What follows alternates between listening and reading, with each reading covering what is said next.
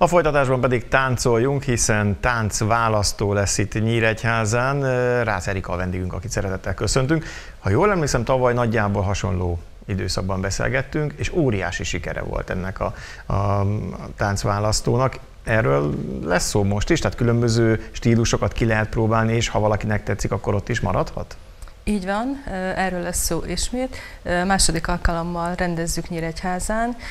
Dióhéjban a történet annyi, hogy a Magyar Táncművészeti Egyetem és a Táncpedagógusok Országos Szövetsége szervezi ezt a országos rendezvényt, hiszen ez az ország nagyvárosaiból tíz nagyvárosban, Budapest tehát is beleszámítva kerül megrendezésre és ezért az országban tíz nagyvárosban mindenütt e hét vasárnap, szeptember 26-án fog táncolni. Hát remélhetőleg nagyon-nagyon sok táncolni vágyó gyerek, fiatal, uh-huh. szépkorú. Azt néztem a közösségi oldalon, folyamatosan posztolod, hogy kik lesznek, akik esetleg órát, bemutatót tartanak majd.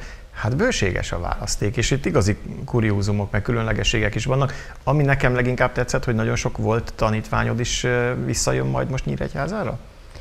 Egy biztosan, bár nagyon remélem, hogy jönnek, hiszen vannak érdekes dolgok, illetve vasárnap lévén talán jobban ráérnek, és tudnak regisztrálni, és be tudnak állni az órákra akinek én különösen örülök a Molnár Zita, aki igazából ő egy profi táncművész, és előképzettség szükséges az ő óráira, ő tart két fél órás foglalkozást, egy kis ízelítőt a, igazából a profi világból. Uh-huh. Akkor kicsit ilyen szeminárium jellegű, tehát akik rendszeresen járnak táncolni, azok kaphatnak egy kis pluszt? Ők mindenképpen, illetve azok, akik abszolút kezdők, akik vagy akik soha nem táncoltak még, de mindig ott volt, hogy szeretnék elkezdeni, nem merték. Most nagyon szépen kérek mindenkit, jöjjön, merjen, hiszen akik tavalyi évből kiindulva indultak haza hatalmas mosolyjal, boldogan, feltöltődve, mentek el, hagyták ott a rendezvényt, és talán ők már az elmúlt időszakban valamelyik tánciskolához csatlakoztak is. Uh-huh. Hogy kell ezt elképzelni? Regisztrálni kell, jelentkezni kell, és aztán a megadott időpontban megjelenni, vagy bárki bármikor oda mehet?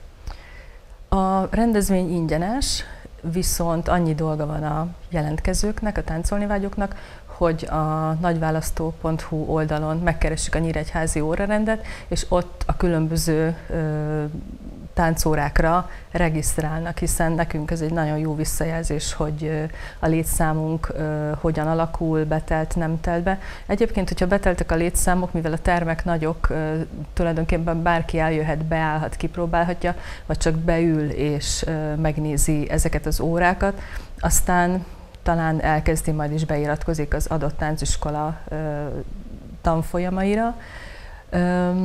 Nagyon sokféle tánc van. Az egyetemes táncművészetet beöl, körülölelő sok-sok műfaj, a klasszikus balett nyilván az egy alap, aminek ott van a helye egy ilyen rendezvényen. Hip-hoposok jönnek, négy táncórára lehet regisztrálni hozzájuk, kortárs modern tánc lesz, szépkorúaknak lesz táncóra, gimnasztika lesz, jóga lesz kicsiknek, nagyoknak, lesz külső rendezvényünk légtánc, ami egy újdonság, most nagyon felkapott és uh-huh. nagyon-nagyon szeretik. Ez is megtalálható az órarendben, és akkor lehet regisztrálni és kipróbálni. Helyileg hol keressenek majd titeket? 16 éve működik a Reflex Tánc Stúdió az Evangélikus Általános Iskolában, az a Luther utca 7 szem alatti iskola, és az iskola tornatermében, illetve az első emeleti tánctermében lesznek ezek a foglalkozások. Mit tapasztaltok például a Reflexnél? Mennyire népszerű most a tánc? És hát itt volt ez a vírusos helyzet, amikor ugye még rendben van, hogy az iskolai órákat meg lehetett tartani mondjuk online formában, de táncot oktatni online, hát nem nagyon lehet.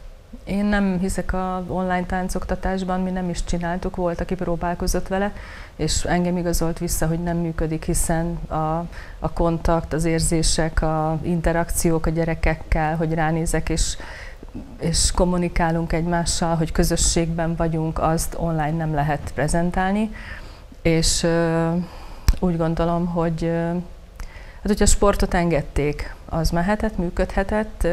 Mi nagyon hosszú időre leálltunk, és úgy gondolom, hogy ezt illetve ezt tapasztalom, hogy újra kell építeni az egészet, de most ez egy nagyon jó lehetőség, hogy sokan jöjjenek és táncoljunk. Furcsa ez egyébként, amit mondasz, mert nagyon sok helyen iskolai testnevelés óra helyett például a táncot elfogadják, ha valaki ott igazolt táncos, és hát azt gondolom, hogy ez is egy fontos dolog, hogy lehet, hogy nem teniszezik vagy úszik, hanem táncol, azzal ugyanolyan fizikai munkát végez nagyon hiányzik majd ez a generáció, mondjuk ez a másfél év, ami kiesett, hiszen ti azért nagyon sok versenyre is jártatok. Hát a gyerekeknek, és természetesen nekem is pedagógusnak borzasztóan hiányzik, hiszen másfél év eltűnt az életünkből, és azok a kapcsolat, tehát nagyon sok kapcsolat szülőkkel, gyerekekkel megszűnt, mert valami miatt nem kezdik újra a táncot. Hát jönnek mások, és akkor velük építjük újra ezt az egészet. Meg jönnek most vasárnap, és választanak maguknak egy, egy van, új van. táncot, vagy újra kezdik esetleg azok, akik, akik eddig szerették. Mikor érdemes menni? Ahogy már említetted, akkor van egy órarend, amikor regisztráltak, van egy határidő, ameddig várjátok a regisztrációkat? Tulajdonképpen aznap bármikor jöhet bárki, reggel 10 órát, a délelőtt 10 órától 5 óráig folyamatosan fél órás ingyenes táncórákra várjuk nyíregyháziakat.